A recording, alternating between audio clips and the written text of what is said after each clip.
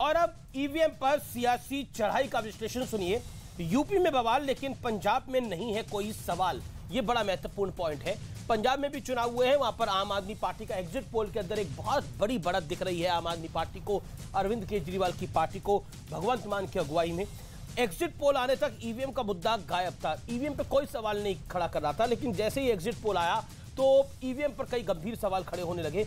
EVM नहीं, जनता की राय से होता है एग्जिट पोल और एग्जिट पोल को नियंत्रित करने से किसी पॉलिटिकल पार्टी को क्या फ़ायदा होगा? क्योंकि डिब्बे में किस्मत तो बंद हो चुकी है। इसी ईवीएम से मध्य प्रदेश, छत्तीसगढ़ में कांग्रेस की सरकार बनी थी। हालाँकि मध्य प्रदेश में तो क्योंकि सिंधिया बीजेपी में आ गए तो सरकार गिर गई।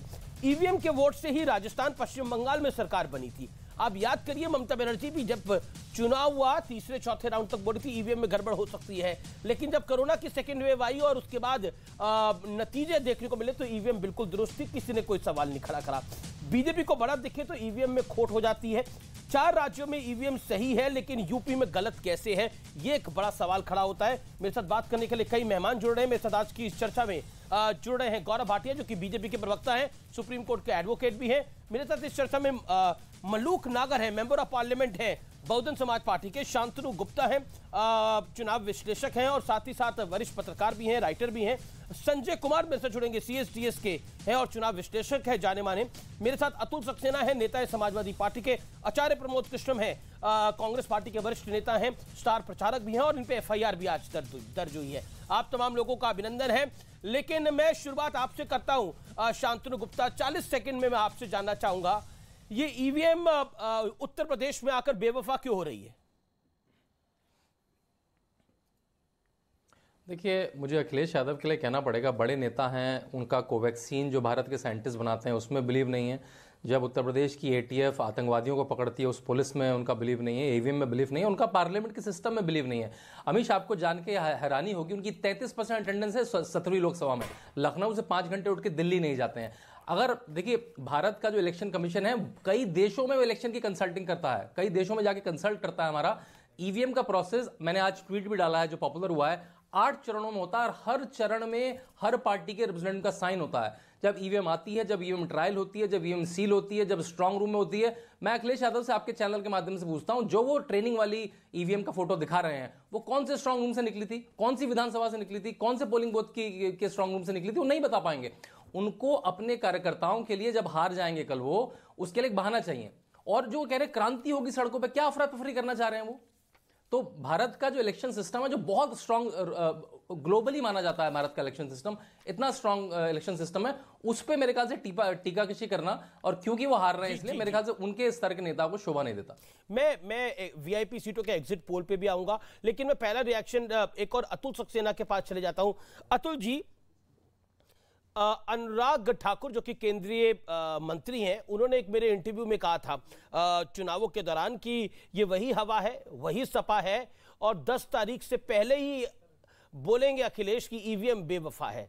और एग्जैक्टली वही हो रहा है। क्या आपको लगता नहीं है कि ये आ, कहीं ना कहीं एक खींच दिखाई दे रही है जैसे भारतीय जनता पार्टी आरोप लगा रही है क्योंकि हार रही है आपकी पार्टी।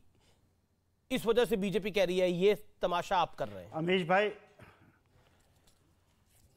अमीश भाई, देखिए, तमाशा तो उत्तर प्रदेश में विगत पाँच वर्षों से जो भाजपा ने बनाया हुआ है और ये जनता का जो है जनता के साथ जो खिलवाड़ करने का काम करा जा रहा है। देखिए, मतगणना अभी चालू नहीं है।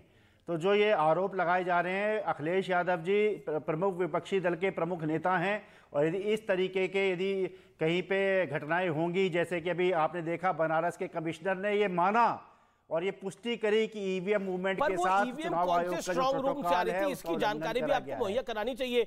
वो ईवीएम किस स्ट्रॉन्ग रूम से आ रही थी जिस जो बनारस में जी ये ईवीएम रिप्लेसमेंट का मामला है। ईवीएम अच्छा। रिप्लेसमेंट का मामला है। कहीं ईवीएम रिप्लेसमेंट ना हो जाए मतगणना जो अभी आपने देखा एक घंटे पहले मुरादाबाद के पास एक बिलारी विधानसभा है वहाँ पे मत मतगणना मत पहचान पत्र मिले हैं। तो इसमें कहीं देखिए कई उधर उत्तर प्रदेश की विधानसभाएँ ऐसी हैं चाहे वो बनारस की बात करें बरेली की बात करें सोनभद्र की बात करें जालौन की बात करें मुरादाबाद की बात करें तो वहाँ पे इस तरीके का शासन प्रशासन जो है काम जी, करने जी, कार्य कर रहा है और आप कहते हैं हम सवाल भी ना उठाएँ। देखिए अभी सवाल सवाल सवाल उठाइए लेकिन चालू तो होनी है और मैं आपके चैनल पे बड़े ही। आपने तो ये भी कह दिया ये लोकतंत्र में आखिरी चुनाव है। मतलब आप मुझे बताइए लोकतंत्र में तो बंगाल बीजेपी हार गई तो क्या आखिरी चुनाव हो गया? बंगाल में दीदी जीत गई तो क्या आखिरी चुनाव हो गया? दिल्ली में भारतीय जनता पार्टी हार गई और केजरीवाल जीत गए तो क्या आखिरी चुनाव हो गया? चुनाव में हार जीत तो चली रहती है कोई ऊपर तो कोई नीचे। मैं यही लेकिन लोकतंत्र में आखिरी चुनाव कैसे हो जाएगा? रहती है, हो सकता है आपकी पार्टी के लिए आखिरी चुनाव हो लोग लेकिन इसके बाद भी चुनाव होंगे। इसके बाद भी इलेक्शन होगा इस देश के अंदर। ऐसा तो नहीं है। अमी अमीर जी देखिए जब तक ये हिंदुस्तान रहेगा इलेक्शन होगा। और ये हार जीत तो लगी रहती है। भाजपा भी भाजपा ने भी जब अपना अध्याय शुरू किया था तो दो सीटें ही आई थी। बिल्कुल आज भाजपा झूठ बोल करके यदि 325 और 300 पार कर जाती है तो ये झूठ बोल करके उसने कुछ डिलीवर नहीं करा है। और इसलिए बौखलाहट लगेगा कल ना जब के लोगों EVM में खुलेगी। ज- ज़ाहिर है अगर गौरव भाटिया की पार्टी ने कुछ डिलीवर नहीं किया है तो कल पता लग जाएगा। तो मुझे लगता है कि अब तो कुछ घंटों का इंतज़ार बाकी है उसके बाद अ, खुलजा सिमसिम हो जाएगा सबके लिए। लेकिन मेरे साथ गौरव भाटिया भी है वो भी इस पे विषय पर कुछ कहना चाहेंगे। गौरव भाटिया गौरव भाटिया विश्वास क्यों नहीं है? विश्वास क्यों नहीं है? देखिए अमीश जी सबसे पहले तो मैं ये कहूँगा भारतीय जनता पार्टी वो पार्टी है जो लोकतंत्र को मज़बूत करती है।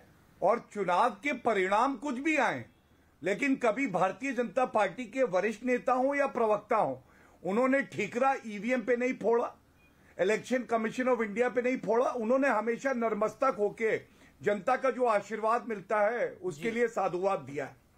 और अब आपने जो सवाल किया है मैं समझता हूँ इसमें दोष अमीर जी आपका है। आपने एग्जिट पोल दिखाए मेहनत करके दिखाए उसमें उसमें सपा पीछे रह गई अब ठीकरा फोड़ना है। ईवीएम हैक नहीं हुई। हैक अखिलेश यादव जी का दिमाग हुआ है। नफरत से हैक हो गया, ईर्ष्या से हैक हो गया, मीडिया ने हैक कर लिया। और इसीलिए वो कह रहे हैं कि भाई किसको मैं कहूँगा कि हार गए तो किसको हम ठीकरा फोड़े? तो दो कहावत याद आती है, कौन सी बेहतर है आप बता लीजिए। एक, नाच ना आवे आँगन टेढ़ा। और दूसरा खिसियानी बिल्ली खंबा नोचे। और इस बार तो इतना खंबा नोचा कि खंबा खुद कह रहा है भैया बिल्ली हर बार नोचोगी क्या? मत नोचो। और मैं इतना कहूँगा नहीं पर पर देखिए बीजेपी ने धर्मेंद्र प्रधान जो उत्तर प्रदेश के चुनाव प्रभारी और केंद्रीय मंत्री है वो इलेक्शन कमीशन में बोले। उन्होंने कहा कि अखिलेश जिस तरह की भाषा बोल रहे हैं वो भाषा बहुत गलत है जिसके अंदर अखिलेश ने बोला कि क्रांति होगी सड़कों के ऊपर। क्या आप इसको वॉयलेंस से जोड़ के देख रहे हैं आपकी पार्टी? देखिए, अमीर जी, बिल्कुल, जो धर्मेंद्र प्रधान जी ने आज शिकायत भी दी है, संवैधानिक संस्थाओं में आस्था होनी चाहिए, चुनाव जीते, हारे, आपको नर्मस्तक होके उसे कबूल करना चाहिए। ये नहीं कि जीत गए, ईवीएम बहुत अच्छी है, ईवीएम बढ़िया है इलेक्शन कमीशन ऑफ़ इंडिया बल्ले बल्ले। जी, जी, जी। लेकिन अगर हार गए सब बेईमान हो जाते हैं जनता खराब हो जाती है। ये क्या दिखाता है? मैं मैं मैं मैं मैं रिएक्शन लेना चाहता हूँ। अतुल सक्सेना से लेकिन संजय कुमार मेरे साथ सीएसडीएस से जुड़े हुए हैं और साथ ही मेरे साथ इस समय